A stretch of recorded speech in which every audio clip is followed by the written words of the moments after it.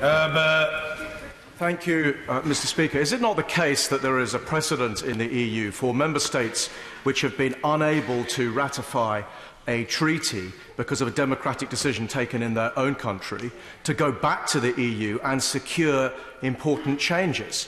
One country did so having failed to